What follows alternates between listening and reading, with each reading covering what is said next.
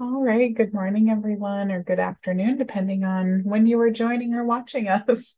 Um, I'm Heather Roscoe. I'm the clinical manager with Montana Family Planning. If you're not familiar with who I am, and today um, we appreciate you joining our quarterly clinical conference call on syphilis and syphilis serology. We have a guest speaker with us today, Tammy Bennett, who I will introduce a little later. Um, just some housekeeping items I want to review before we start. So this is a two-hour webinar that we've planned, and we do have about a five-minute break about halfway through, so you'll will get a chance to get up, move around, um, and do whatever you might need to do at that time. But um, we'd love to have you turn on your cameras if you're willing and able to or have one so that we can see you during this presentation, that would be super fantastic. Um, and we'll also do our best to keep you engaged during the presentation by asking any questions, um, utilizing the chat, and there'll be some poll questions that you'll see as well. And then if you're attending this later, feel free to maybe have a notepad or jot these things down or just think um, through them, these questions that we have as you move your way through the presentation. Um, feel free to type any questions that you might have into the chat and we will do our best to address them during the presentation, but know that we will also have a Q&A session planned as we wrap up.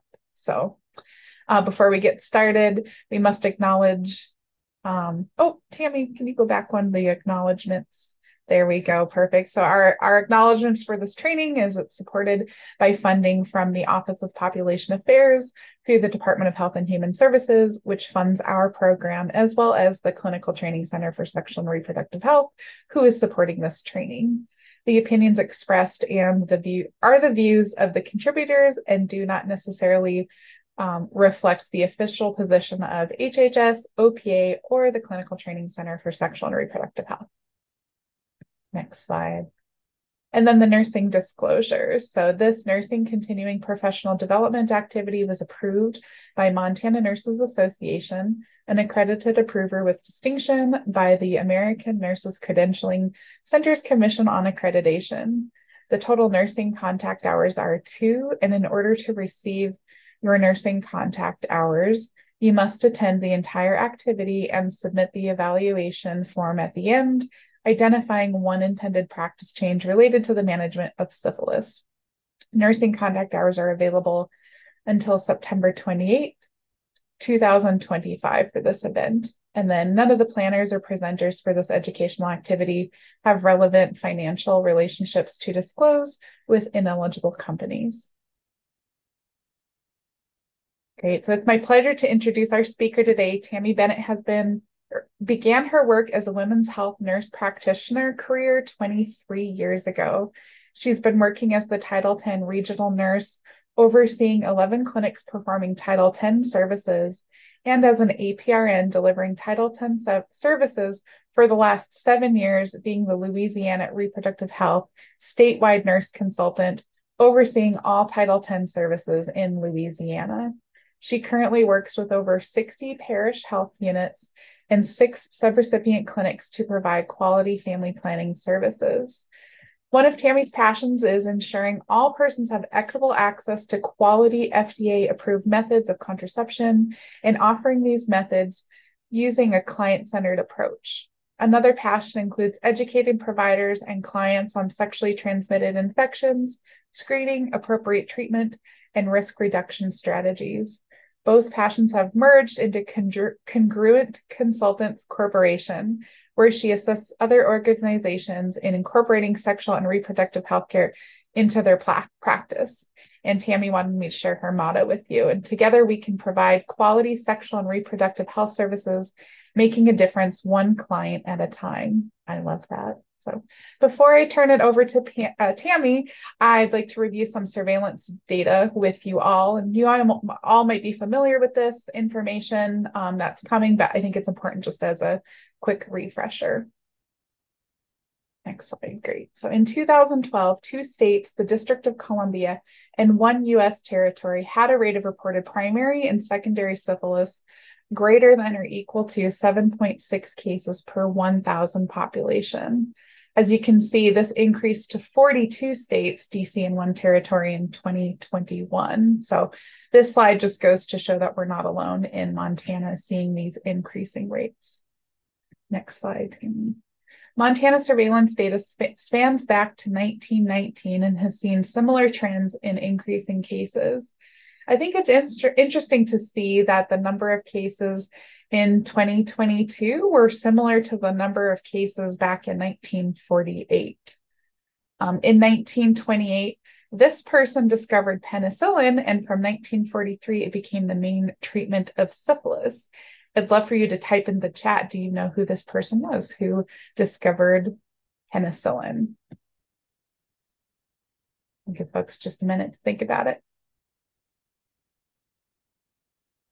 Okay, I'll help you out. It was Alexander Fleming. Next slide. There we go. So the number of syphilis cases um, by all stages in Montana. So this is um, as of June 8th, 2023. Montana Department of Public Health and Human Services reported a total of 332 syphilis cases at all stages. Again, this graph just shows where cases are highest, and you'll note that some of these areas are also near or on reservations. So in 2021, the highest rates of reported primary and secondary syphilis cases were among American Indian and Alaskan Native persons, about 47%. During 2020 to 2021, the greatest increase in rate of reported primary and secondary syphilis cases were among American Indian Alaska Native persons from about 27% to 47%, or about a 74% increase. American Indian Alaska Native persons also had the greatest five year increase in rate of reported primary and secondary syphilis, so from about 11% to about 47%, which was about a 325% increase from 2017. So I think this slide is important when we think about health disparities and the population served. Um, and while we consider equitable access to sexual and reproductive health care services important, as well as addressing trauma in historically underserved populations, these topic areas deserve their own discussion, one, we, we, one which we won't be covering today.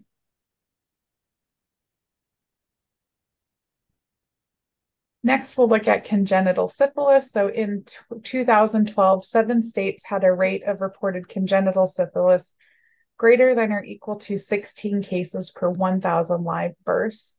This increased to 41 states, DC, and two US territories in 2021. Again, we're not alone here in Montana of seeing increasing rates of congenital syphilis. And then in Montana specifically, you can see the number of cases have increased with one reported case in 2019 and 11 cases reported so far this year. And this data is current as of just two, two weeks ago. Again, in looking at health disparities among race and ethnicity for congenital syphilis in 2021, the rate, the highest rate of reported cases of congenital syphilis per 1,000 live births was among mothers who were American Indian or Alaskan Native, who also experienced the greatest increase in rate of reported cases of congenital syphilis, syphilis during 2020 to 2021 as well as the greatest five year increase in rate of congenital syphilis. So you can see this very, very similar trend in the data presented earlier in the rates of primary and secondary syphilis. I think it's also important to note that there were also no decreases in the rate of congenital syphilis among any race or ethnicity group from 2017 to 2021. So with that, I would like to turn it over to, to Tammy to um, start our the rest of the presentation. Thanks, Tammy. Thank you, Heather. Hello, everyone. I'm coming to you live from near the New Orleans, Louisiana area. Um, I promise I will not throw any beads at you, um, but we're hopefully going to have a very interactive um, share time.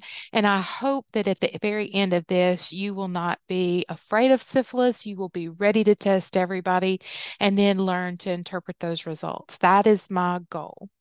Um, at, with any of my talks, I really love questions. So you please feel free to put them in the question and answer because if you have that question, I can promise you probably someone else does too. Um, so with that, what is syphilis? Well, um, there's a quote by Sir William Osler that says, He who knows syphilis knows medicine. And I think that all of us will agree no one will ever know everything about medicine. And so syphilis is one of those things. It's also called the great imitator and um, it can look and mimic other things so easily. And as we go through the presentation, I'm going to show you some pictures and hopefully you can put it in the chat what um, some of these may um, resemble, like if you were to see them coming through the ER or dermatology clinic or even your Title 10 site. Um, so again, it's called the great imitator. It can mimic rectal cancer, penile cancers, ulcerations, um, and also uh, there's going to be some um, some things where it looked like psoriasis or, you know, um, even just a contact dermatitis if they have the rash. So uh, as we go through, you're going to see it does have some similarities. Um, so here's our first poll, and I will again want this to be interactive and fun, but let's see how comfortable are you with uh, syphilis labs, staging, treatment, and follow-up, and then um, we're going to discuss why is accurate staging so important. So you should be able to answer this. Okay, so we've got some comfortable, some neutral, and some uncomfortable. So that's great. We let's let's dig in and let's see where we are at the very end. Um, all right. So let's talk about why is accurately staging syphilis so important. Does anybody have an idea? Anybody want to come off mute or put it in the chat?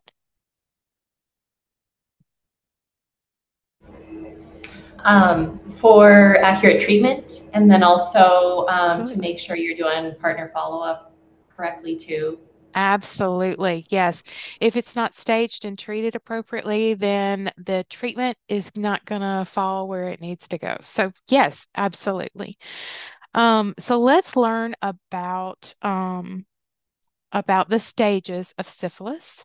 It starts with an infection an event that leads the bacteria to in, uh, come through the mucous membranes and infect the um, other partner. This can lay dormant for about three weeks to three months. And at the at, at the first stage that you really have symptoms is called the primary stage where you get a primary ulcer. And then if you're not treated, that ulcer is going to heal on its own. And then you go into secondary. And then if if you're not treated, it's going to go away on its own. And then you go into a latency phase where during latency, there's no signs and symptoms. And the only way that you're going to know that, that a person has syphilis is by testing that person.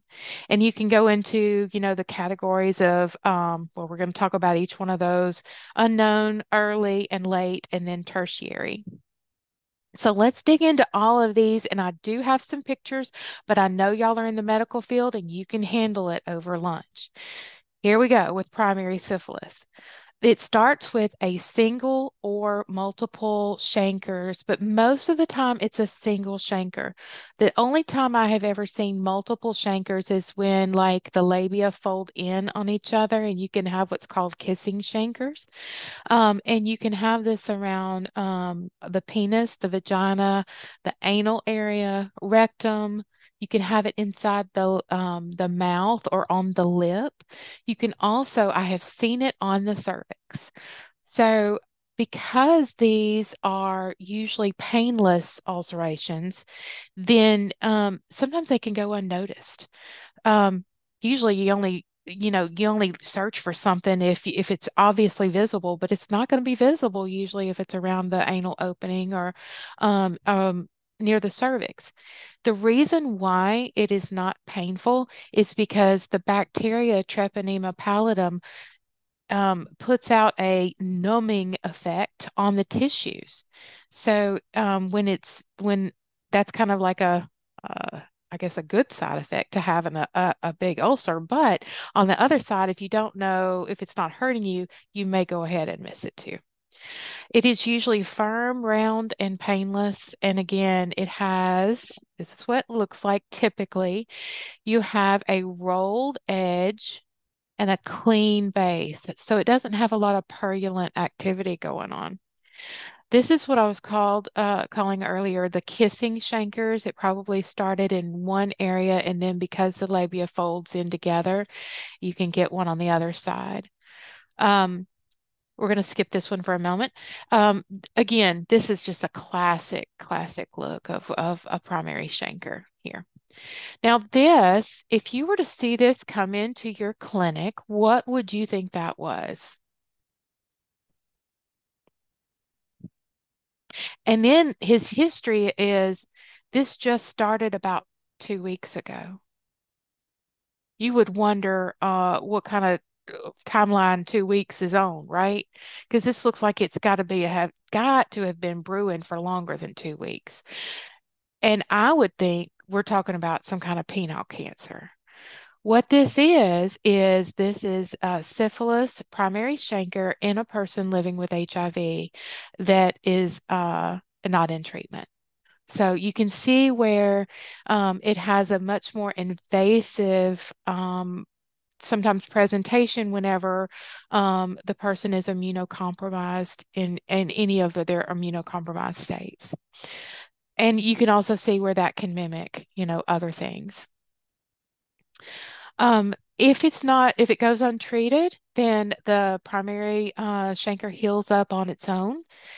And they just go along for one to three months and think everything's fine. And then all of a sudden they start breaking out into this rash. 90% of all people get the rash. It's a maculopapular pustular lesions, but it also, if you ever see a rash that involves the ha- uh, palms of the hands and the soles of the feet, let that be the blue light warning that something bigger is going on, that this is not a reaction to their detergent or their new soap. This is something bigger. Um, condyloma lata, we're going to go through all of these and I'll explain as they go through, but condyloma lata is not the same as genital warts. Condyloma lata looks like warts, but they always have a pinkish color and they're wet and they're very fast growing.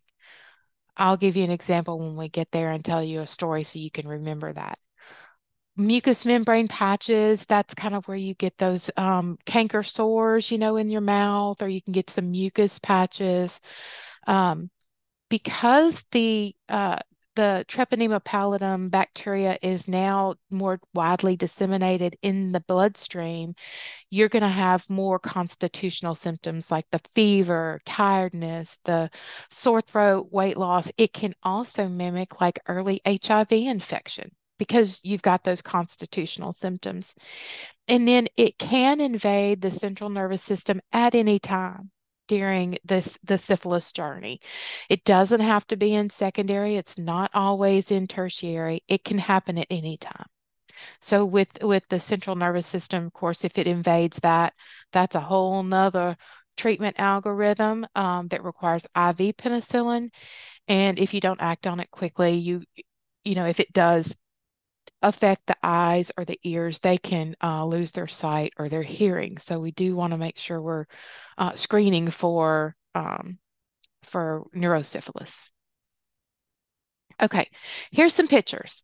Again, anytime you have a rash on the um, palms of the hands and the soles of the feet, then that let that be a, a big warning that something more is going on. This is just a disseminated rash. It's uh, not itchy, but gosh, it looks like it's just miserable. But you know, they just notice it. And they, a lot of times, what we find in Louisiana, you know, we've been battling syphilis for quite a while down here in Louisiana. And so they'll go to the dermatologist and they'll get a shot of Celestone and some cream, and miraculously, in a week or so, it goes away. Guess what? That wasn't the Celestone that was that was that was fixing it. It just naturally wears its course and goes away. So they still have syphilis and it's still active. Um, that's what we have been trying to get the word out to all of our providers here about is looking at those hands and feet. Now, I don't want to say that it's mandatory to have that rash on the hands and the feet. I have seen a syphilitic rash just in the small of the back. I have just seen it on the lower trunk. So just when you think you know it all, another one will come in and just blow blow the blow the water to you. So this is typical presentation, but there's always those outliers. This is what the rash looks like on um, persons of color. It can really um, sometimes look like some uh, psoriasis going on. Um, so don't let it fool you. If someone came in with this on their face, what would you think? Somebody unmute and just tell me tell me what this looks like.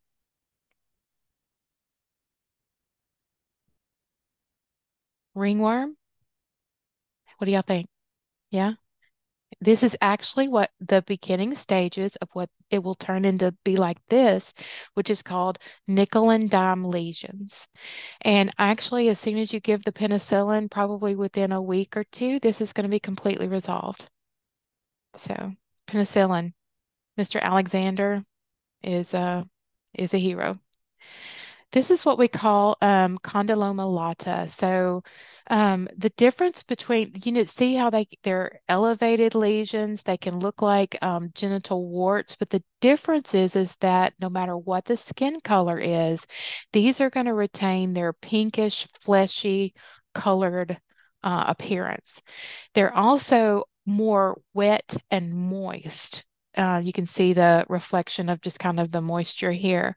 Um, than uh, typical genital warts. So think of pink and wet. And then what you'll find is in the history, they're going to tell you that this has popped up on them in the last couple weeks.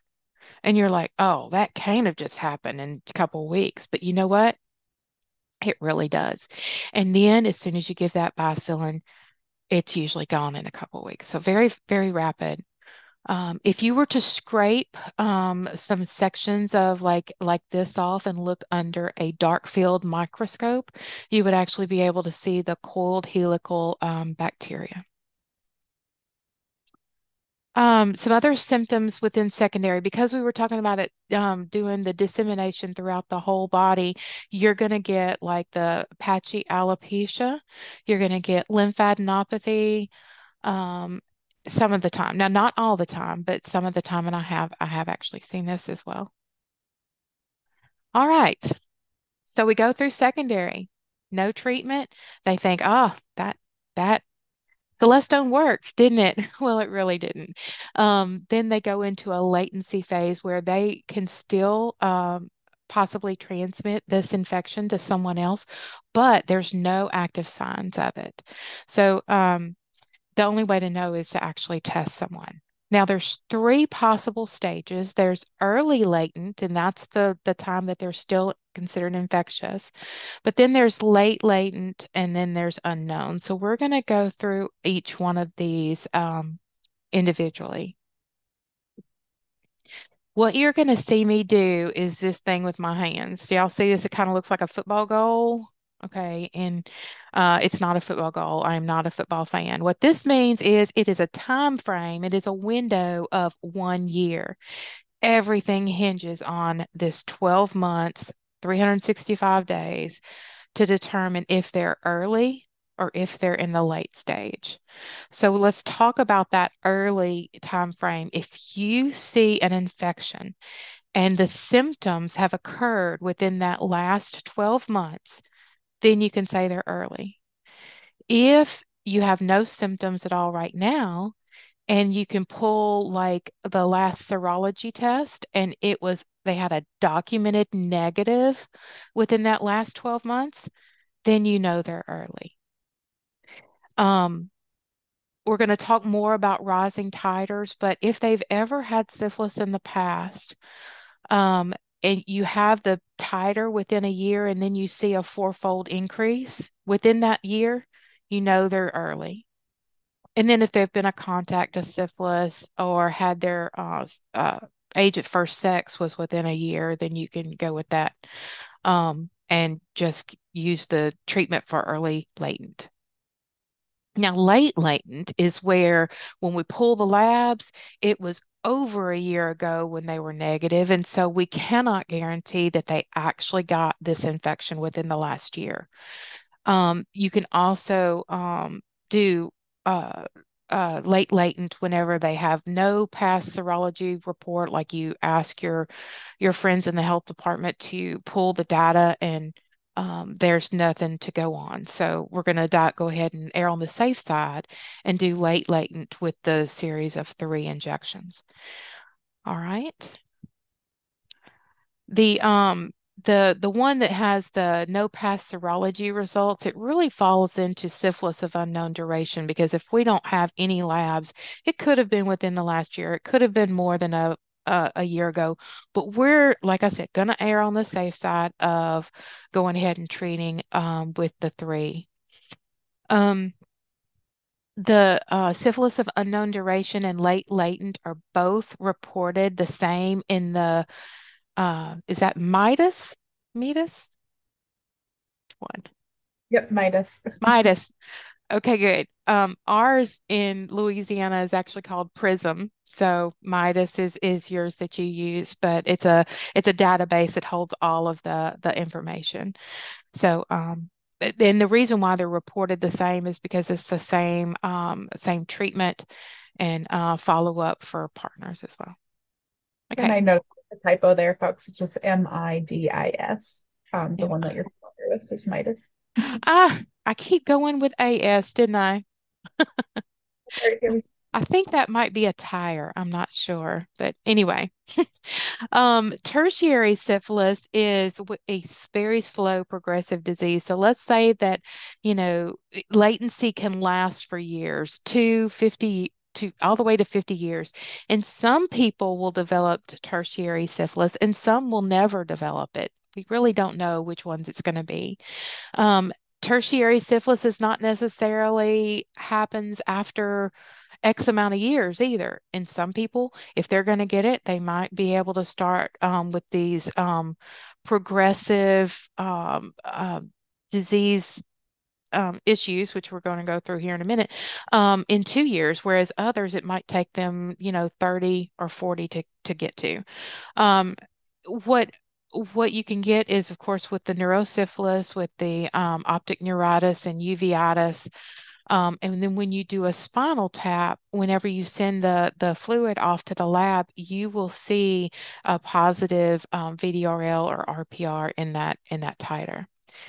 For tertiary, you can also get aortic um, regurgitation or aortic aneurysm because this bacteria is affecting all of your internal organs. There's gummatous lesions where um, the uh, remember the the penile ulceration that was so invasive, that could actually be called a gummatous lesion as well, and um, it may mimic a tumor on the penile shaft. The you can also get these large rectal masses that look like rectal cancer, but in reality, it's it's the gummatous um, lesions. Now, this next picture, um, I can warn you that if we saw this um, person walking around in the United States, we would probably take her by the hand to the nearest uh, medical facility. Um, but in third world countries, they do not have the penicillin availability that we do. And we've got to remember that um, even in the first part of the um, 20th century, we didn't have penicillin. So, um, historically, what would happen is um, the person would get syphilis. There was really no treatment. Eventually, um, the bacteria would eat the flesh of the um, the the nose, and they would um, build wax and make a fake nose. So a story um, down here from the south is um, women would make their fake noses and then they would sit in front of the fire and of course their nose would start to melt. So there's these things that um, come out from the fireplace and it's called a face shield. For the very first time i saw that last year whenever we went on a trip to uh, Na- um, natchez mississippi. And in one of those old antebellum homes they had the face shield. So I had to educate the the tour guide on what that was really for. It was so their nose wouldn't melt off. Um, anyway, so uh, once it's gone, it, it's pretty gone. So we're our goal is to try to get it before it reached this point. Um, neurosyphilis, ocular syphilis, and otosyphilis. This is probably the most scary thing for our Title 10 sites is to potentially miss this. Um, always do a review of symptoms um, when you're a nurse or a provider in the in the uh, Title 10 site, asking if they have any headaches or eye issues or ringing in the ears or ear problems, because that could um, signal that that the syphilis has gone into the uh, central nervous system. It can again, it can occur at any stage of syphilis, and then um, it can mimic, you know, like the altered behavior. It can mimic like a, a paralysis, like a uh, Bell's palsy. Um, you'll have sensory deficits, and then it can also mimic dementia um, in one of our nursing homes, it was found that a older gentleman had a positive um, syphilis that had never been treated, and he was in the memory unit. We are not sure if it was a cause of the syphilis not being treated or if he actually did have um, dementia. But once it gets to that point, even though he was treated, it the the damage to the um, to the system is done always, if you have a patient that's having um, uh, these symptoms, always screen for HIV infection because, again, with any kind of immunocompromised state, um, it can invade that central nervous system um, much easier. And uh, evaluation and treatment, you must refer to a neurologist, infectious disease, or to the emergency room same day very, very quickly in order to preserve the sight and the hearing and the uh, for the patient.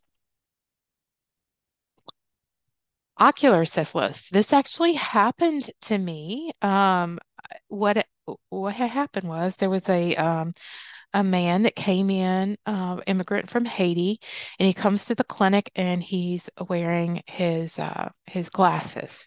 So we will go through this, I think, a little bit later. But ocular syphilis, if you ever have somebody that's sensitive to the light or looks like they have conjunctivitis, they have flashing lights, um, their vision is changed, then always, always test for syphilis. Um, let's see, evaluation management is again, if you have any suspicion, go ahead and refer to an ophthalmologist or to the emergency room. Otosyphilis is um, uh, where it can attack the um, nerves of the ears and you get sensory neural hearing loss. It can either be one sided or both, and it's usually a sudden onset and progresses rapidly. So it's not something that happens over years, it's, it's usually really fast. Tinnitus is also something like if you have the ringing in the ears or the vertigo um, can happen as well. And you'll want to refer um, these patients to the otolaryngologist gynecologist, ear, nose, and throat, and um in the emergency room.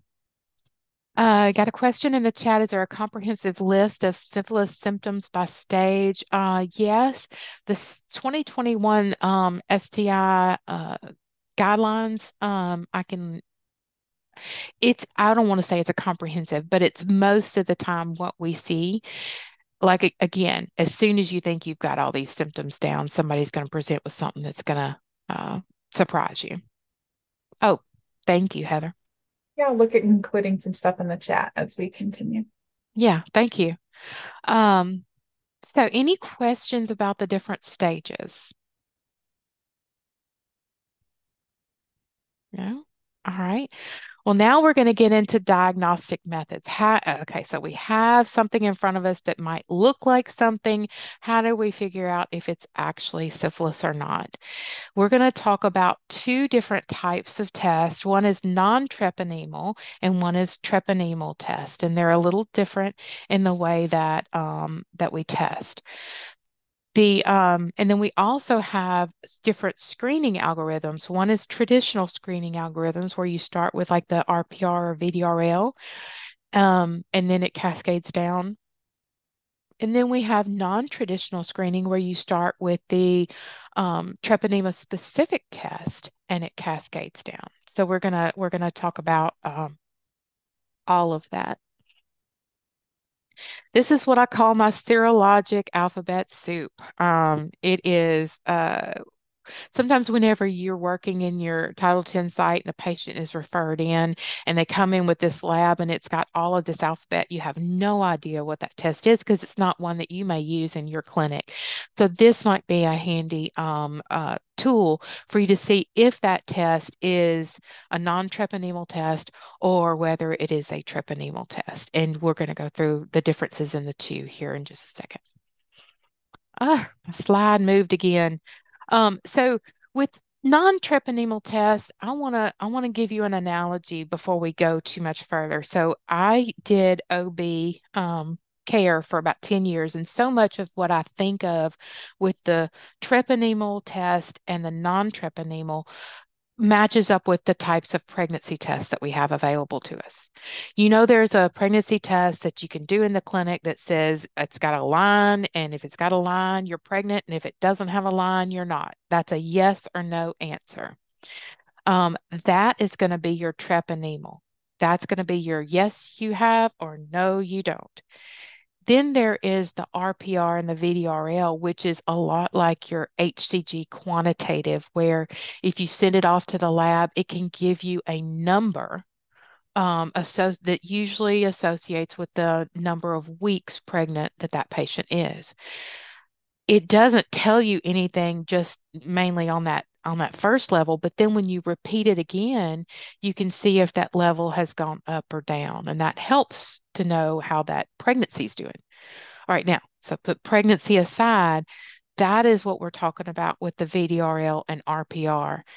It is a test that is not treponemal specific. So therefore, you can have more um, uh, things that cause you to get a false positive such as immuno uh, immune disease like um, lupus, IV drug use, recent fevers, or um, pregnancy. Pregnancy can give you a, a false positive. Um, you can also get false positives if you've had like a recent vaccine. Um, so just because you get a positive VDRL or RPR does not mean that they have syphilis. That means we need to do further testing. Um, so at that point, you would do the specific treponemal test. Now, the advantages is the advantage to doing the treponemal um, serologic test is that it's cheap and it's easy, and it also allows for quantifiable results whenever we are watching the titers for treatment. So it is used. It's just you can't make a determination if they have syphilis or not um, based on just that one test. Oh, here's a list of all of the other uh, things that can cause a biologic false positive. Um, and uh, an example of this would be if your uh, lab comes back and uh, it would be actually it wouldn't be this it would be the VDRL would be reactive and the um, CIA would be non-reactive that would be a false positive. So here is a list of all of the different types of treponemal specific tests. I think that you use the CIA in most of your clinics, but you might also use the um, rapid test. I believe you use the ChemBio HIV syphilis combo test, and that is a treponemal specific test you're actually testing for the specific antibodies of um, uh, against the antigens associated with treponema pallidum. So um, it's qualitative, so it doesn't give you any titer to to to say how prominent that load is in the bloodstream. It's just the yes or no question. Um, once you have syphilis and you have those antibodies, it's usually positive for life. In 95% of all cases, that antibody will stay positive. So you can't just do this test and and know that oh they have syphilis and they need treatment. Not necessarily because if they've uh, had syphilis, they've had treatment, it's still going to stay this one is still going to stay positive. That's when you have to look at your titers to see if it's new or if it's an old infection. Um, the advantages is, is of using this one as your primary uh, test is that it's sensitive and specific. You can detect more cases um, and uh, it's traditionally used as the confirmatory, but you can also turn that around and use it for screening and then reflex your RPR uh, for your for your titer. Um, one of the analogies I like to work in here is um, with the uh, with the the titer staying positive for life is if you can imagine a fish bowl you know all kids i think have to have a goldfish at one at one time or another. So you've got the goldfish in the fish bowl and um, it's swimming around and then um, uh, you pour bleach in that water. What happens to that goldfish? Well it's going to die. Okay but is the dna of that fish still in that water? Yes it's still there because we hadn't dipped it out. Um, that is the same way that syphilis um, antibodies are. Once you once you get that um, that syphilis in there, then the antibodies are present, and even if you pour the penicillin to it, the antibodies are still going to be there, even though the active um, uh, bacteria is dead. So that is the difference in how you um you can't just say, oh, they have syphilis because they have a reactive, you know, CIA. Now you'll never look at a fishbowl the same again. Um, uh, ChemBio uh, HIV combo rapid testing is amazing. I want this for the state of Louisiana. Um, it's one finger stick and it gives you both your HIV and your syphilis test. And it's very highly sensitive for HIV and for um, the treponema pallidum antibodies. Uh, it's a two step process done in 10 minutes. Um, it should be used, though, on patients who have never had a positive syphilis IgG in the past. And again, that's because once you are positive, it's going to stay positive. Um, with the, uh, you can also use the DPP micro reader for objective results because, you know, all of our eyes see things differently. So that makes it more objective and it is re reimbursable. Some for some of you who just have the Syphilis Health Check, this is actually what we use. Um, it's uh, it's CLIA waived. It is very similar to the other. It's just the one test and it's treponema specific. Okay, I was um in the chat um, as we go through this, I want you to tell me what your clinic does. Do you do traditional screening for syphilis or do you do non traditional screening? What do you key in first? Do you key in the RPR or VDRL or do you key in the EIA or CIA? Which one? Traditional is RPR, VDRL, and non traditional is the EIA or CIA here's what we usually have coming into our Title 10 um, clinics is they may go to the blood bank and try to donate blood. Well, the blood banks down here, not sure about in Montana, but the ones down here are still doing the RPR for syphilis test on the donated blood or plasma. So um, as we know, there can be false positives with that. So a patient gets all freaked out whenever they they call them and say they've got syphilis, and they come to the health unit and they say, "We were we were told we had syphilis, and that's that's I, am just going to get a divorce." Well, um, it's up to us to really then calm them down and explain that that can give a false positive. What I'm going to do is I'm going to do um, the confirmation test, and then let's see what what comes up. Um, so that is that is typically what we have to do. Oh, we already did this poll, so sorry. All right, this is um once you understand the the way that the syphilis IgG goes up, you see this green line, it goes up and then it stays up. Um, in 95% of all cases, it will stay positive. Now, with the VDRL, I want you to look at the, it's actually this imaginary line here. You can see this VDRL going up, the the the yellow, and it goes up, and then eventually it will come down to most of the time it'll come down to non-reactive when they've been treated, but sometimes it can even come down to non-reactive when they have not been treated. So the the statistic is in about 45% of all patients um, who have not been treated, if you are just screening with the VDRL, 45% of the, the patients are going to go back to non-reactive, not ever having been treated.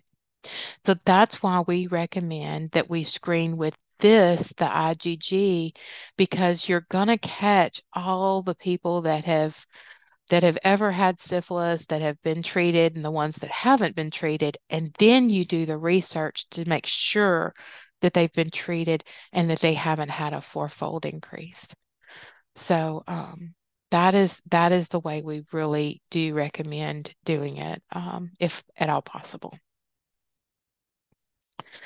so again, the reverse screening is where you're looking at the specific antibodies with the CIA. It's automated, it's fast, um, it's done on a machine. Uh, less lab to lab variation. There's also less less eye variation, so that's that's a good thing. But the disadvantages and the reason why we still have the RPR and VDRL is because it can't be used to monitor treatment when you treat and you have that titer, you need to document a fourfold decrease to make sure that your, your treatment was adequate. All right, uh, let's see. I think I said all that. It takes two.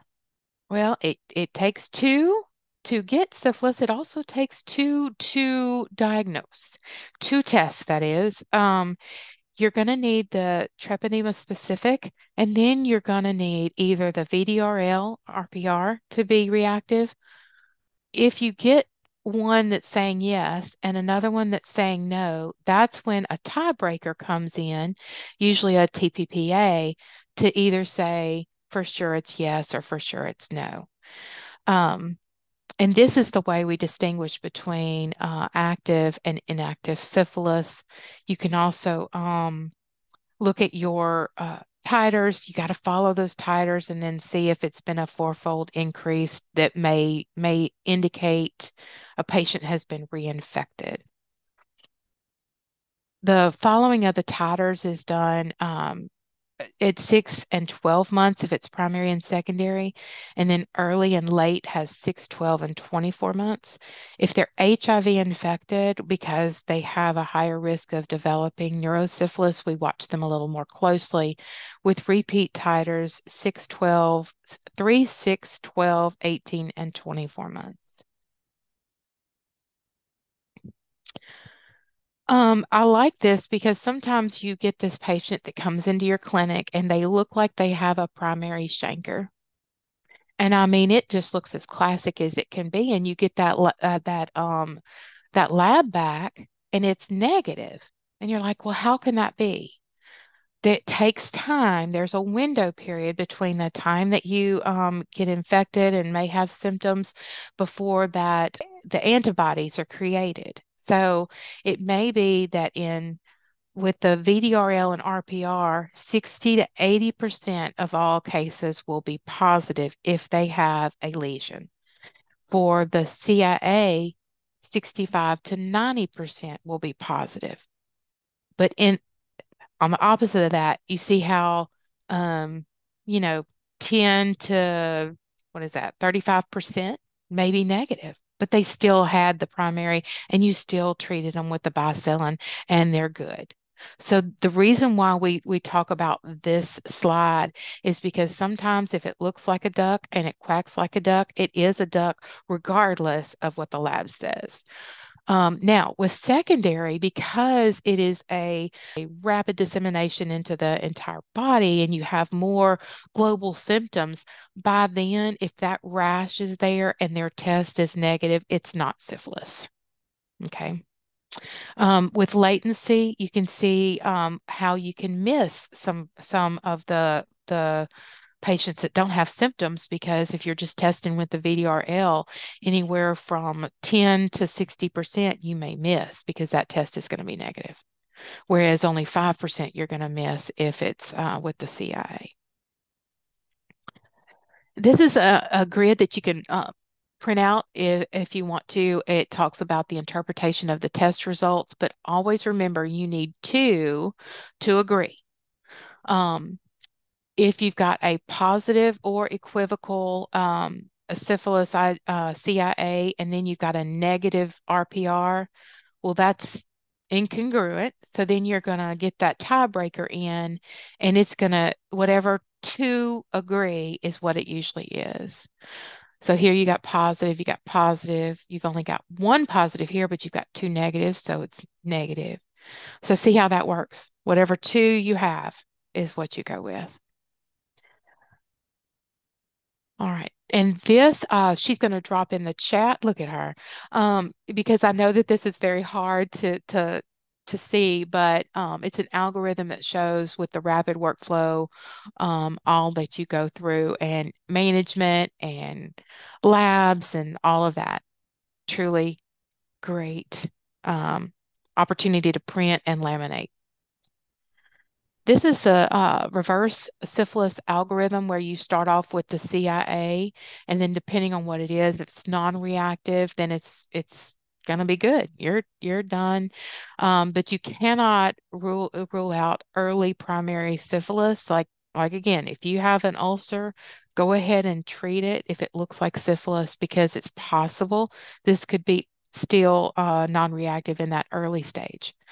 If it's equivocal, then they're going to repeat the CIA. If it's still equivocal, they're going to go to an RPR, and then depending on what it shows out is what it'll report. When you're looking at this, just real quick, the easy way to look at this is if it's a green test, that means it's reactive. With two greens, you have to stage and treat. With two yellows, that's a question, you're going to have to complete the algorithm to find out. But if it's white, you're you're good to go. Here is your reverse screening algorithm, um, where it starts with the treponemal test and the treatment that's involved with it. So you've got a red that's reactive, a red that's reactive with no history, that's when you're going to stage and treat.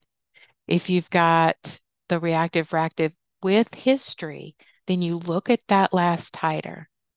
And we're going to get into titers in a second, but a fourfold increase in the titer is clinically significant for a, a change. So you want to stage and treat if they've had a fourfold increase because just because they've had it in the past doesn't mean that they can't get it again think back to the goldfish. Might have a dead goldfish in there, but if you put another live one in there, you got a live and a dead one, right?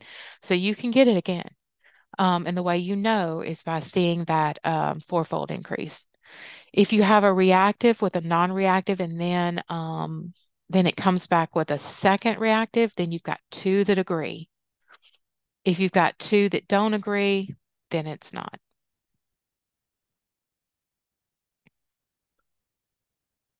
All right, and this is the reverse uh, screening treatment algorithm where if you have it equivocal with a non-reactive, then it, it flows on down to uh, the TPPA for your tiebreaker. In this case, it's showing you that you have one non-reactive here, one non-reactive here, so syphilis is unlikely. But if you have a possible yes here, and a possible yes here, that's when you need to do some further research and consult with your medical director or the um, STD Clinical Consultation Network. I believe yours is in Washington, if I'm not mistaken. Ours is in Denver. So yeah, they they all have that um, awesome uh, network where you can call and run a case by them. All right, so welcome back, everyone. Um, now we're going to dive into some syphilis treatment. Um, again, it depends on how you stage uh, as to how you treat. So let's go through um, the CDC guidelines for treating in the each of the stages. with, uh, let's talk about primary and secondary syphilis. This is when they have symptoms. So they either have the genital ulcer indicating primary syphilis, or they have the skin lesions, secondary syphilis with the the rash, condyloma lata, the patchy alopecia, all of those things. The treatment is the same. Um, it's going to be the benzathine penicillin G, which is the long-acting penicillin, 2.4 million units IM. And I don't know if what what you have in stock, but we have both 1.2 million units and we have a syringe that's 2.4 million units. So make sure you're looking at your syringe. But if it's 1.2, you're going to give them an IM injection in both sides of their their gluteus. Um, a little hint if they are prone to uh, vasovagal reaction, you may want to lay them down. It is not a pleasant shot to receive. Um, so uh, just a, a, warning there. We've had that happen when they get up to reg registration to check out and then they're on the floor. So anyway, um, uh, allergy to penicillin, as long as they're not pregnant, um, you can use the doxycycline 100 milligrams twice a day for 14 days. Please, please make sure that they know that they need to take all of their antibiotic.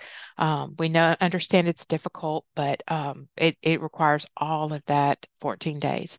If they're pregnant, you're going to give the same uh, penicillin as you do to uh, when they don't have an allergy. The difference is is if they are pregnant and allergic, you still have to give the penicillin. Well, not us what we're going to do is we're going to refer for them to get desensitized. And usually, what this happens, at least in Louisiana, is we send them to an allergist who then puts them in the ER, loads them up with corticosteroids and um, Benadryl, and has the crash cart right there on hand. And then they give the penicillin anyway. But they're in an environment where they can um, manage any kind of allergic reaction. Um, here is the uh, cascade for um, the primary or secondary syphilis. When you see the ulceration, um, skin lesion, uh, if they're allergic to penicillin, then you determine if they're pregnant. If they are, that's when we have to refer for desensitization. If they are not pregnant, that's when they get the doxycycline. If they're not allergic to penicillin, then they get the 2.4 million units for one dose, just one dose. And when um, and then uh, always want to test and treat partners. Um, for primary, it's the last three months uh, plus the duration of symptoms is the partners we want to um, test and treat. If it's secondary, it's six months plus duration of symptoms. So um, all the partners they've had in the last this these last time frames.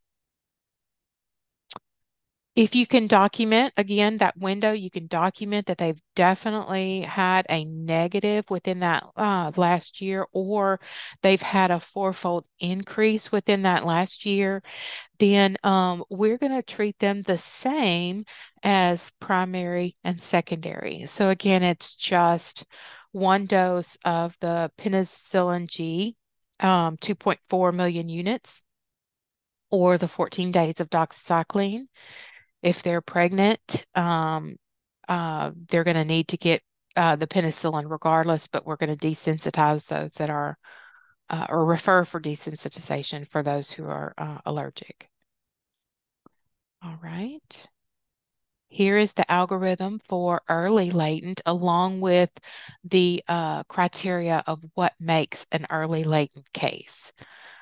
Um, do you see all these 12 months? All hinges on one year. So documentation of a negative within of a negative test within 12 months or a fourfold increase from their last titer within 12 months. Um, this is in the CDC guidelines, but we really don't go by like a rash if that wasn't diagnosed. So, um, because rashes can be caused from multiple different things. Um, but it is in the CDC guidelines if they did have a primary or secondary syphilis lesion that uh, within the last 12 months we can stage them as early. Okay.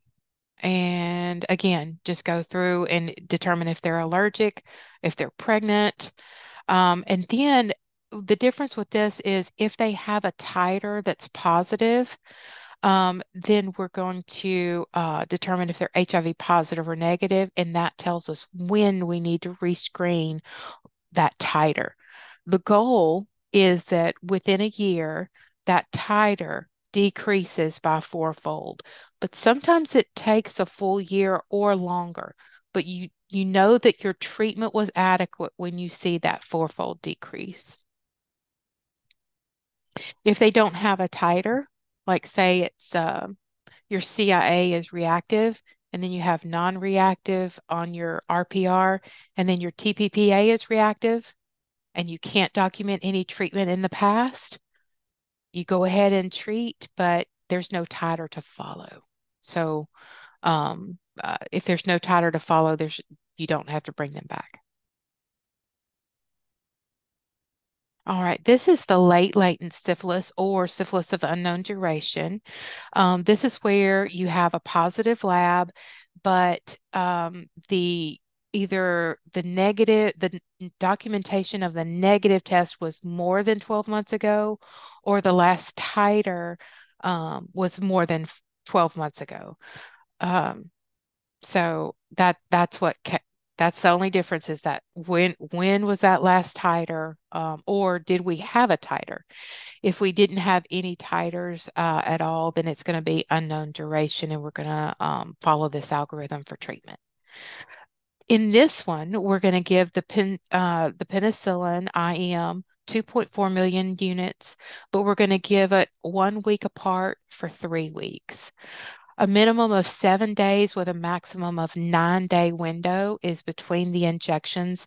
And what that is, is for is because the syphilis needs to, to keep a good um, um, um, drug drug load within the body to to, to treat that um, bacteria for a, a, certain length of time. So um, any longer than that nine days, the the drug drug um, bio what is it called? Bioavailability? Gosh i'm going back to school here. Um, anyway it can go down to the point where it's not treating that bacteria anymore. So so that's why we have to be pretty rigid with the dosing every three weeks. With the doxy now this if i think taking a week of antibiotics is hard this is four weeks of antibiotics twice a day.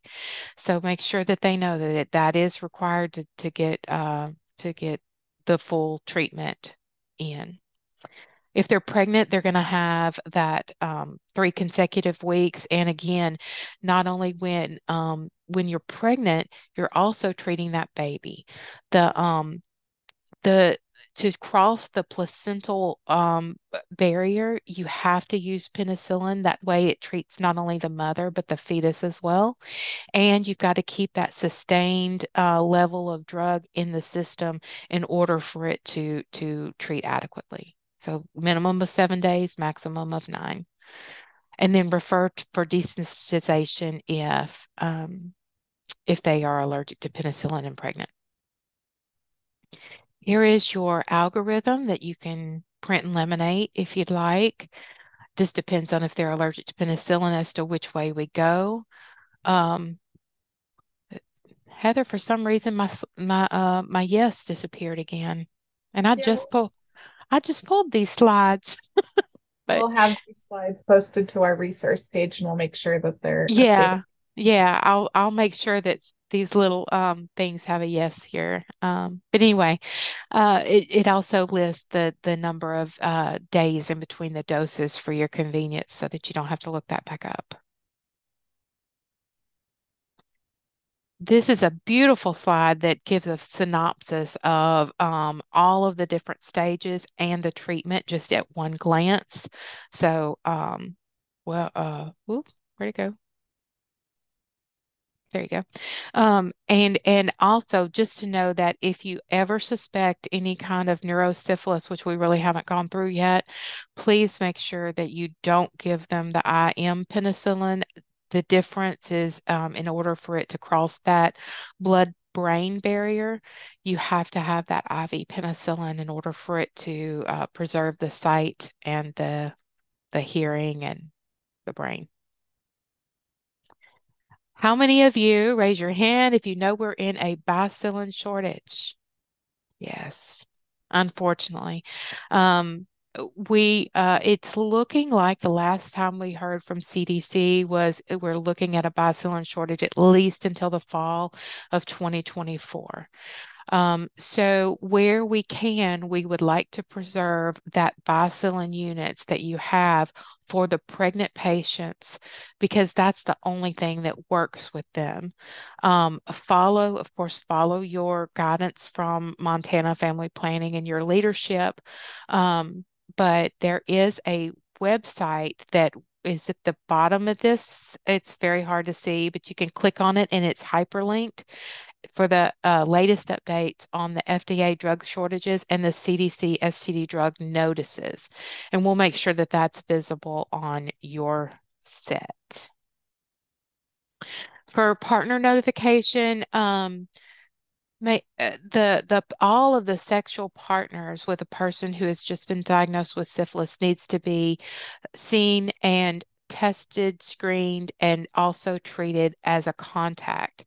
So we go ahead and give that Bicillin, that one dose of Bicillin to any contact within three months plus the duration of symptoms for primary, within six months for secondary, and within a year if it's early. So depending again, depending on the the stages, it, it, it all uh, falls to stage appropriately. So not only do you treat correctly, but also the sexual contacts and the and the um, time frame is appropriate to you.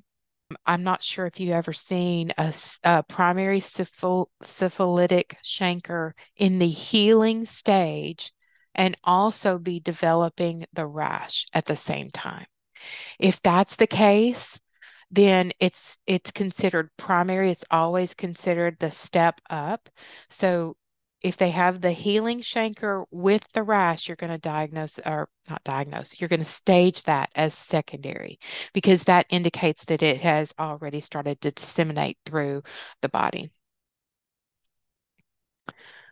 All right, for um, persons exposed through sexual contact um, with a person who has primary, secondary, or early latent, so we're still talking within that one year, always clinically look at them draw their serology, and then uh, you're going to treat presumptively for early syphilis. Um, and then if the contact was more than 90 days before the diagnosis, we're going to um, get the serologic test. And um, if they're not available, then we're going to go ahead and give that one dose. If they're negative and we already have that um, that test, then we don't have to give a dose because we know it's been over the 90 days and the window period uh, is is already passed. So if they're positive, they're going to be positive at that point. And then um, if the serologic tests are positive, of course, you're going to stage and treat based on that um, that patient themselves. Any questions with partner therapy with the less than 90 days versus over 90? And this goes back to where, remember the slide where I showed you that if they're a primary, you can have a, um, a symptom, but the, the, the screening test could be negative. This is where that comes in. The less than 90 days, they can have a negative test when they really do have it brewing in there. That's the yeah the problem. Populations with high syphilis um, infection rates, we need to notify and um, the notification and presumptive treatment of sex partners of persons with syphilis of unknown duration who have the high non-treponemal serologic test titers, like over 1 to 32, um, may indicate early syphilis. Um, these partners should be managed as if the index patient and just have early syphilis. The sex partners of persons who have late latent should be evaluated clinically and serolo serologically for syphilis and based on their treatment is based on their own individually individual findings. Let's talk about persons with HIV. The interpretation of the test is the same if a person is living with HIV versus if they're not. But with HIV, sometimes you can get some unusual serologic responses. For instance, it may take longer for the fourfold decrease to occur if a person is living with HIV.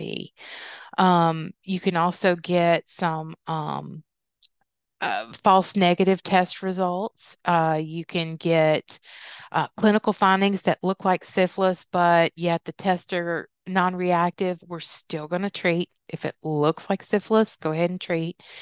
Um, and then neurosyphilis, ocular syphilis, and otosyphilis should be considered among any person with HIV because it's so much easier to enter that uh, central nervous system with uh, that client population.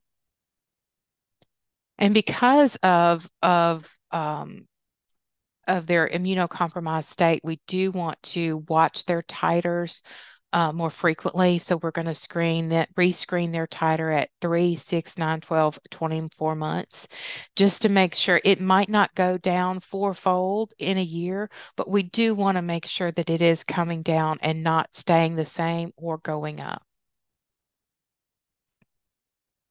Um, Special circumstances regarding syphilis in pregnancy. As you saw with those statistics there in the very beginning of the presentation, if you have a high rate of primary and secondary syphilis in women of childbearing age, what are you going to also have? Higher rates of syphilis in pregnancy and congenital syphilis. You can see where both of those were rising at the same um, levels. This is 100% preventable and um, it can be very devastating with um, with a pregnancy. It is recommended that we screen at the positive UPT for syphilis, the first prenatal care visit at 28 weeks and at delivery. Um, what what can happen, and I'm not sure if this happens in Montana, but in Louisiana, we we have um, one of the worst perinatal um, mortality and morbidity rates in the nation, and we have a lot of women who um, are a lot of um, provider deserts where they can't get to a provider because it's so rural. Well, what'll happen is a woman may come in for her um, initial OB visit. She may find out she has syphilis. Um, they give the first injection, but then if she doesn't complete the other two, if if it's required, if it's late latent syphilis, if she doesn't require finish the other two, and it's been beyond that nine days, she has to come in and start the series all over again. And so this just it, it's it's a never ending battle. And so then the patient may escape from um, from care and be lost lost in the system. They present then to um, deliver having not been fully treated with their total three um, doses given at every seven days. Um, I will tell you in the CDC guidelines, it is pretty rigid um, that uh, doses must be given every seven days for three consecutive weeks. Usually the window is given though because that's very hard for women to get right at seven days. So a window is given to, for seven to nine days. Um, but if they are one day past that nine day, they got to restart that series. Any questions about the the pregnancy or anything we've discussed so far? Okay. Cool. Well, titers always really, um, I never really understood titers. And so I, uh, un until I came into this position and I really had to dig in a little bit. Um, I want to explain how um, the uh, the titers are done in the lab, and then you can understand, I think, more of the disease process of what's going on in the body. So um, once uh, the lab gets a, a specimen for a titer, they spin it down to the serum and then they take a drop of the serum and they put it on, say, a card. Uh, it, it, almost looks like a newborn screening for, uh, card, but it's got these little round wells. And you put that in there, and then you put some buffer solution in there, and you start you just stir it a little bit. And if it clumps together, this is the Tammy explanation. If it clumps together, that is reactive. If it's reactive in that well, they take a drop from that well, put it in the next well, add another drop of buffer solution to dilute it a little more, stir it around. If it clumps, it's still reactive. And they continue that process until it stops clumping. When it stops clumping, um, that is the uh, the titer. So you can see where this is like the first well, and then they take this one to this one. And every time it is a, uh, it doubles this. So you can multiply this times four. Um, well, except for this one. One to one is a, one to two. And then it goes, you multiply that times times two and you get uh, four. And then you get, you multiply it times two and you get eight. I'm sorry, I said four, you multiply it times two and you get the next um, titer. So the very next one, if you take 1 to 32, multiply times 2, what are you going to get? A 1 to 64. Yeah, I saw somebody's lips move. Yay. Melissa, great job. Um, 1 to 64 is going to be your next step. And I have seen this go into the thousands. Now, um, again, I go back to my analogy with the pregnancy test what does this mean? Well, I mean, if you've got this titer and you've got a positive, um, uh, a, a, reactive uh, CIA, then, well, you know you're dealing with syphilis. Great. But it really doesn't tell you a whole lot until you repeat that titer and compare it to the last one to see if it's going up or see if it's coming down. So that is where we're looking at the titers. We're looking for a fourfold um, change which is clinically significant. A fourfold, you can think of it like taking this number and multiplying times four, or you can just print this out and move it two decimal spaces, which is like, that's kind of the easy way. But always multiply times four or divide by four, depending on if you're wanting to go down the slide or you're wanting to go up, uh, or you're seeing if it went up by fourfold. So let's say that a patient comes in and they have a 1 to 64 and we treat them with their their um, appropriate treatment. Let's say it's early latent, they get one dose of bicillin, they come back in in six months, um, and their titer is 1 to 16. Has that been a fourfold decrease? You can look at, yeah, you can see there's there's a twofold, and there's a fourfold. You can take 64 and divide it by four, and as long as it's 1 to 16 or less, you've already got your fourfold decrease. You're good. Um, again, it may take a year for that to that to happen. So as long as it's not rising or staying the same, you're you you should be fine. That means our treatment is working. Monitoring the success of treatment is, again, you repeat the titers. Your goal is to have that fourfold decrease within 12 months. Remember, sometimes with um, persons with HIV, it may take longer than 12 months, but just call your um, regional medical director and, and run that case by them at that point. Evaluate for a treatment failure if the titer does not decrease fourfold in 12 months. Um, it could be that uh, they need to be retreated and um, or it could be that it's just taking them a little longer. Um, could be that they've gotten reinfected. So just just run that by your your medical director as well. The response to the treatment is associated with certain criteria. So we know that earlier stages are more likely to see that decrease faster than those um, who are in the later stages. And then if the initial titer is less than one to eight, it may be it may take longer to have that fourfold decrease because just of the um, amount that's in the blood it it it just I, I think it's just lovely whenever I get a a very high titer and you repeat it in in three or six months and it's all the way back down to one to four. Well, it, it doesn't really matter if it's one to four or one to 64. The goal is to have it decrease by fourfold. Do you see what I'm talking about? It's great. That, hey, that's a no brainer. We know that that's fourfold decrease. I don't have to do math for that one. But um, as long as it's fourfold, we're we're sitting good. again, in um, in 85 to 90% of patients, um, it usually drops to a non-reactive titer after treatment. But there are, is 10 to 15% of patients that are going to continue to have a low titer no matter what. That doesn't mean they need to be retreated. It doesn't mean that they have gotten syphilis again. It means that they are considered serofast, which is where they will have a CIA that's reactive. They'll have a um, RPR or VDRL that's like one to one. You'll pull their last history and it's been a one to one. So there's not been a fourfold increase. So they do not need retreating they're just going to kind of hover at that low titer. But that does not mean that they need to be retreated. As long as they've had that fourfold decrease and it hasn't gone up, we're uh, fourfold, we're good.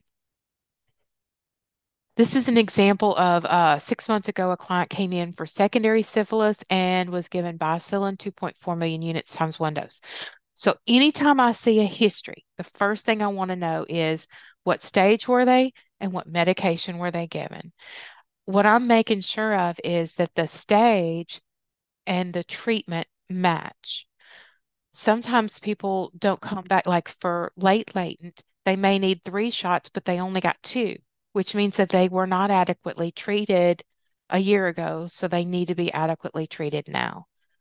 With secondary syphilis, the correct treatment is one dose of 2.4, so they were correctly treated. That's great. So then here's our lab six months ago. It's reactive with a VDRL of 256, 1 to 256. Today, six months later, we got reactive. And remember, this one's probably going to stay reactive. In 95% of all cases, it stays reactive. And then a VDRL of 1 to 8. Do we have a fourfold decrease? You can just shake your head, give me a thumbs up, thumbs down. Yep, that's right. So it was here. You can take 256 divided by 4, or you can just move it down two decimal places. So as long as it's a 1 to 64 or lower, we are good. And so you can tell that we have a successful treatment. How do you know if it's a treatment failure versus a reinfection? Uh, this is a good question. and this is why I like syphilis so much because sometimes it's a puzzle that you have to put together. It's not a one and done. So you you have to look at um, the history. You have to um, look at your labs, and I want you to think reinfection. If they have no neurologic symptoms, so no headache, no eye complaints, no ear complaints, they're continuing to be sexually active, then you want to repeat the syphilis treatment because it's probably a reinfection. Okay. Think treatment failure if they have any type of neurologic symptoms, which would indicate that it's in the central nervous system and it and the IM version of the penicillin won't work for that. So you would need to check for neurosyphilis and then give, um, make sure that they get the IV penicillin for that case if they have not had any reported sexual behavior or, or, reported sexual exposure during the last three to six months, but yet they they're still having the high titer, you might might want to think about uh, treatment failure, and then also suspect treatment failure. Um, if you anytime you suspect treatment failure, refer to a um, infectious disease or ER doc so that they can um, I did uh, do a lumbar puncture and test for um, syphilis in the CSF fluid. Always, always rescreen for HIV. Um, even if they were negative before, rescreen for HIV if you suspect that um, happening. For treatment failure or reinfection, again, you should see that fourfold decrease by one year. So if you don't see that fourfold decrease, that's when you're going to need to look at, is it treatment failure? Is it reinfection? Or are they just taking a little longer to get down to where they need. And again, don't forget uh, the STD clinical consultation network that is at your disposal. All right. Any questions before we get into the fun stuff? This is where I'm hoping it's all going to come together. So let's start um, with a 20 year old male who comes into the clinic with a rash on the bottom of his feet that began a week ago. His sexual history, his partners are women. He's had five partners in the last six months, 10 in the last 12 months, inconsistent condom use, and was told he was exposed to syphilis. On his exam, you see the rash on the bottom of the feet, palms of the hands, and the lower torso. So let me get you to answer. All right, so let's look at this together. With this exam, what stage is, is of syphilis are we talking about? Absolutely 100%. Y'all got it right. Secondary syphilis. Yay. Now, what if the exam revealed a penile ulcer 100%? It's primary syphilis. Okay. What if had both? The healing ulcer, and the rash, you got it. Secondary syphilis. Perfect. Very good. Uh, let's go on to case study number two. 35 year old uh, female comes in for her annual exam and she gets a refill on her Depo Provera for her contraceptive method. She's asymptomatic. And I'm going to give you a hint. When I say asymptomatic, what does that rule out? Primary and secondary. You can't have primary and secondary and be asymptomatic. Okay, so I gave you a hint. Um, PAP was done, STI testing, and then the labs return, and you've got um, negative, negative, but then on syphilis, you've got reactive, non reactive, reactive. I want to show you how my brain works. What happens is I look at the lab results when you've got two, this one and this one agree, you know you're dealing with syphilis in some form or fashion. So you know it's not a biologic false positive. So we're dealing with syphilis. Now we have to figure out is it new syphilis or is it old treated syphilis? Okay, so now let's uh, launch this poll. There's four questions on this one.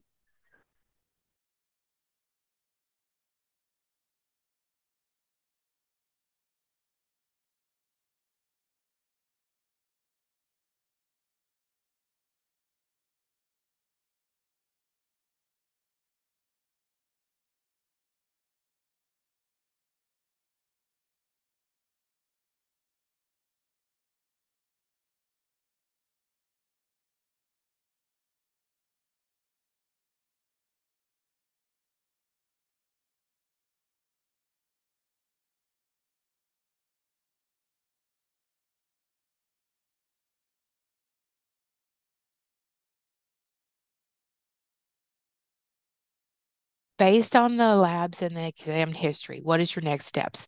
Well, you have to know uh, because you know it's syphilis in some form or fashion, but you don't know if they were ever treated in the past, you really need to contact your health department or your disease disease intervention specialist, if you call them that, um, for a record search. And so what they're going to do is they're going to pull any records like the past history, the treatment, your past labs, and just make sure that um, that they were treated, they were staged and treated in the past, and um, and that they haven't had a fourfold increase in their titer, which we know we ha- they haven't because it is non-reactive. Um, so the DIS comes back and says, okay, they had a negative six months ago. We're within that one year window. We know it's early latent. We know they're going to get one dose of the Bicillin. But if they come back and they say that the last lab was 13 months ago, you can see where that goes from that one year period to the to the more than one year and then you're going to stage as late latent and that changes the treatment from one dose to now three doses the next one this is the guy who uh, came to see me um, the, he is the 32 uh, year old from Haiti. He was referred for a positive syphilis test. He had his eyeglasses on, and when I asked him to remove them, he had right eye pain, decreased vision, and photophobia. And actually, one um, pupil was non reactive and he had iritis what are we going to do?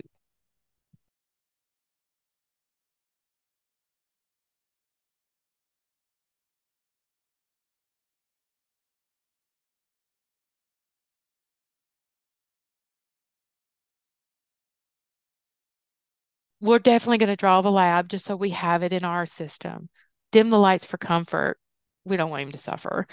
Um, but giving the Bicillin IM is the incorrect move because he could think, oh, good, I'm treated, I'm good to go, when he could actually lose his sight because the IM is not going to work for neurosyphilis when the eye is involved. Um, so, and yes, you would call your medical director or send him to the ER immediately. Very good. Um, yes. And so the end of the story was we sent him to the ER. He had a lumbar puncture by the infectious disease specialist. He did have a uh, VDRL in his um, CSF fluid of one to eight. He was treated with IV penicillin and retained his vision. Yay, success story. All right. Um, case study four is a, a, female that comes in with a positive UPT in the clinic. She was treated for secondary syphilis two years ago with bicillin times one. All right, right there. Is that the appropriate treatment for secondary syphilis? One dose of 2.4. Yes. Very good. So we're good there. Keep going. Labs two years ago were reactive and 1 to 32. So she comes in today and she's got reactive, non-reactive, reactive. All right. The first thing, look at these labs. Are we dealing with syphilis in some form or fashion? Do we have two that agree? So yes. Now, is it active or is it dead? Look at your past labs. We've got a 1 to 32, and now we have non-reactive. Is this a fourfold decrease? Yes. Does this person need retreated? No. Are y'all getting that? Y'all seeing? Give me a thumbs up if y'all are good. Okay. Awesome. I saw it. All right, we're going to skip forward. I know we're running out of time. I want to make sure you have plenty of time for questions. Case study five is a female comes in for STI testing, has a new sexual partner with inconsistent condom use. Um, exam was normal. So exam normal, I just said that it can't be two stages, right? Um, labs return and it's reactive, non-reactive, reactive.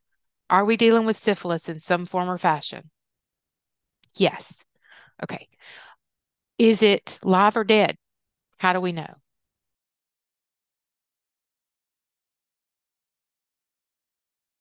We got to consult DIS or our state health department, right? And they're going to give us all the answers to this puzzle that we need. Either they're going to have something or they're not going to have something. So when it comes back, all right.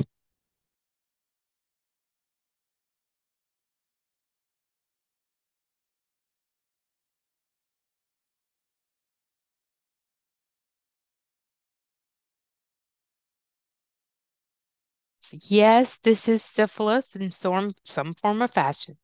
And then if there's no past history, we're dealing with a SUD, syphilis of unknown duration, in which they're going to get the full three doses one week apart. Perfect. Excellent job. Case study six is a 32 year old MSM presents to clinic with a painless penile ulcer. We gave him 2.4 million units IM the same day, and then his labs return in a few days showing reactive and 1 to 32.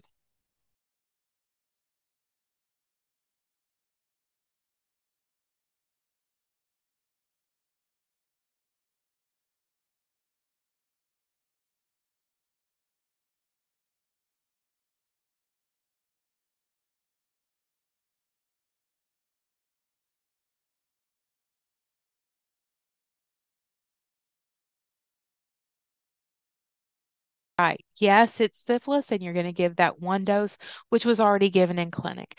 The only follow-up would be um, that you need to call him and make sure that he knows to to uh, that all of his partners in the last three months need to come in for screening and um, contact um, protocol.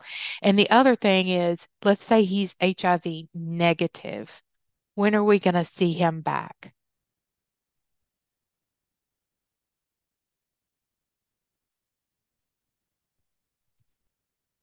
Um, a 49 year old comes in with tinea um, versus psoriasis, and then also has vitiligo of the glands, but no sores, no rashes, no other symptoms. Um, then uh, reactive, non-reactive, reactive on his labs. The DIS history, he said he's been treated for primary syphilis in 2000 um, with Bicillin times one dose. Is this the correct treatment for primary syphilis? Yes, the one dose. That's good. All right, now look at this titer, 1 to 16. Divide 16 by 4. Did he have a fourfold decrease in his titer? Does he need retreated? Yes or no? You are right. Excellent. Very good. Um, is it kind of starting to get to get come together a little bit? Okay, it's a puzzle. I know. Um, 28 year old comes in and has reactive, negative, reactive. So is this syphilis in some form or fashion? Yes. All right. We get the DIS report and it says he was treated for late latent in 2001 with Bicillin times three, which is the correct uh, dose for our, our treatment for late latent. And his last titer is one to eight. Did this go down fourfold? Does he need retreated? No. Good. Um, all right, here's common. A 42 year old comes to the clinic and has the annual exam. Her labs come back reactive, negative, reactive.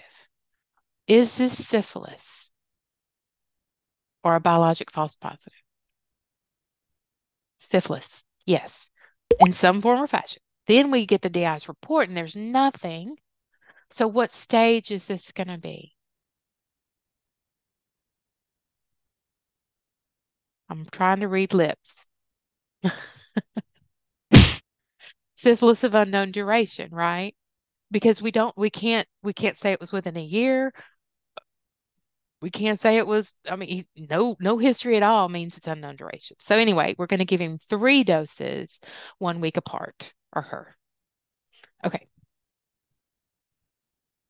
24 year old uh, comes to clinic with a rash on the abdomen and the hands the testing was done and was go ahead we went ahead and um, gave her the Bicillin 2.4 times one dose that same day her labs come back was it syphilis was syphilis what was causing that rash yes um so, and this is primary or secondary syphilis secondary syphilis.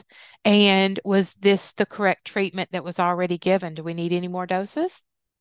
Nope. So you're good. You've already treated. And so if this is a person with HIV, a person living with HIV, then um, when are we going to bring them back to repeat this titer? That's correct. Three months. Very good. All right. Uh, here's a uh, a 35 year old with a penile ulcer for two weeks, treated for primary syphilis the same day. Labs come back reactive 1 to 64. Uh, almost the same thing, just a different stage. What stage is this? Primary. Correct treatment. There's our labs. It was definitely syphilis. Now, even if this was non reactive, if you see that penile ulcer, you can still have an early syphilis and it just not be showing up yet. So don't think that your eyes misfooled you. It may just be that the lab hasn't caught up to what your eyes saw. Okay, fourfold decrease. Let's say this person is a person um, without HIV. You're going to repeat it in six months it should be a fourfold decrease. What is a fourfold decrease? Divide this by four and tell me what it is. Yes, 1 to 16. So as long as it's a 1 to 16 or less, we are good. Here is a. Uh, I think we just got a couple more of these, if I'm not mistaken. Um, 20 year old comes in for a refill on her birth control. We do re- routine screening, and she has a reactive, non reactive, reactive. And then we call in our DIS and no history of syphilis. What stage is this? SUD, syphilis of unknown duration, because if we don't have any labs at all to base it on, we know it's syphilis here because we've got two saying yes, but we don't have history. So we're going to stage as syphilis of unknown duration. And how many shots do they get? One or three? Three. Excellent. Excellent. Three shots, one week apart. STI screening due to new sexual partner, equivocal, non-reactive, reactive. Now, I don't know if I made this plain, but any equivocal, we go ahead and treat like it is a reactive because it could be just an early. So let's say that that's reactive, non-reactive, reactive. Are we dealing with syphilis? Yes. Yeah. And then no history. So it's going to be staged as syphilis of unknown duration. And how many shots? One or three? Three. You got it. Annual exam. Uh, we did the screening and it comes back reactive 1 to 64. And then we have the DIS that comes back no symptoms that we saw on exam, but it might be a a a, um, a, a chancre hiding up near the cervix. If we didn't see it, we didn't see it, right? Um, so DIS report comes back and says that the um, the last syphilis test was negative four months ago. So what stage are we in? Early. Very good. And do we get one shot of penicillin or three? Yes. Great job. I think this is the last one. Um, we've got a 25 year old who comes in. She's seen by the nurse practitioner and treated for trichomoniasis the same day. Her labs come back and it's reactive, non reactive, non reactive. What's this?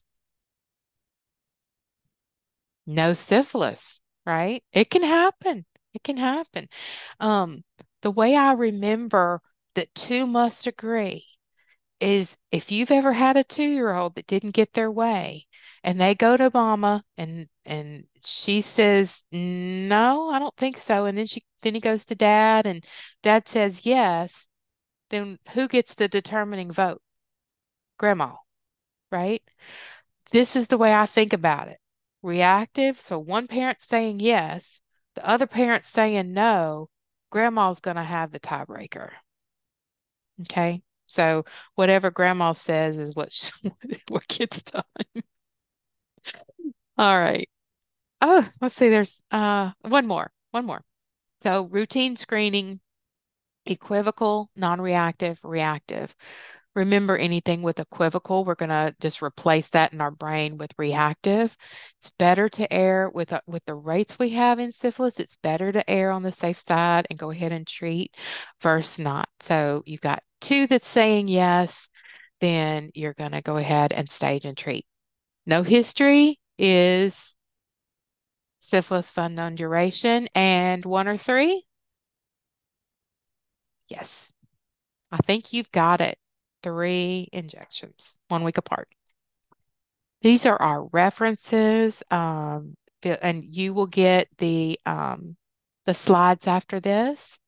Do you have any questions for me or anything that maybe wasn't clear you'd like to review?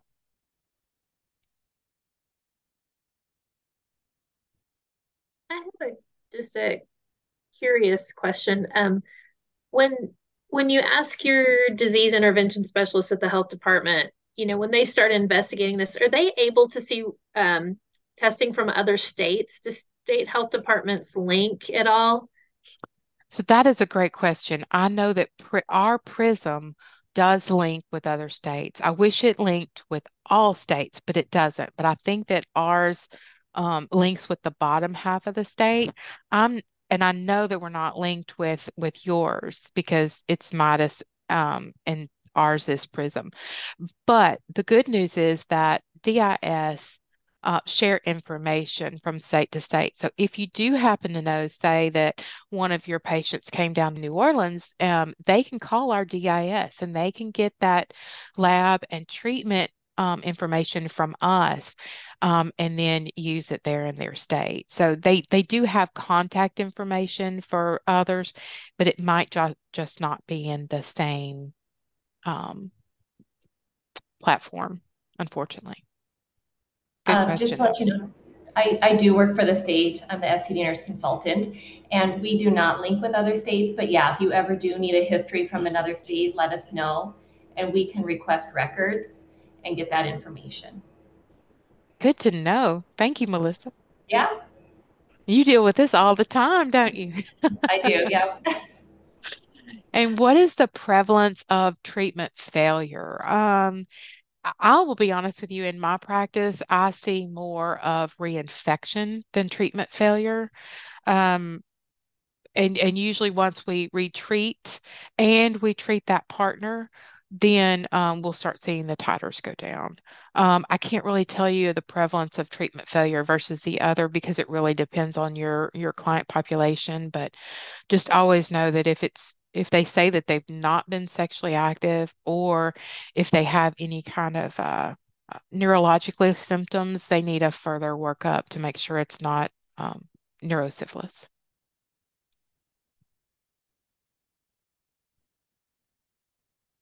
Any other questions? Y'all been wonderful. Thank you for um, being so attentive and and um and, and good at charades because I love having the camera on. I can see I can see your faces and read lips. So thank you for all of that. Um, I want to do one thing before we leave, um, and I want to re-ask, how comfortable are you now with syphilis staging?